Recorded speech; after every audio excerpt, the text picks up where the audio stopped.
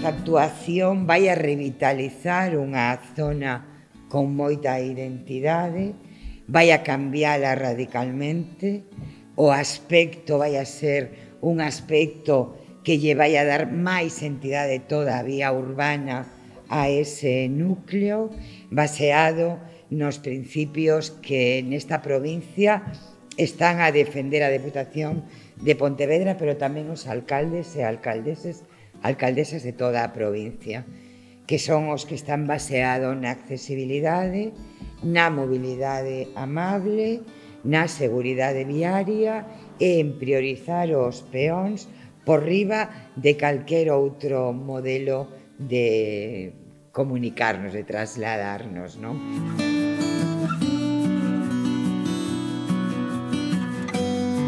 era necesario acometer esa renovación especialmente das infraestructuras, eh, como moi ben decían os técnicos, de abastecemento, eh, recolle de pluviales, saneamento, eh, alumbrado, eh, que estaban, insisto, moi, moi deteriorados. Pero o máis importante é que eh, convertemos ese entorno nun entorno moito máis amable, sobre todo para os residentes, que ao final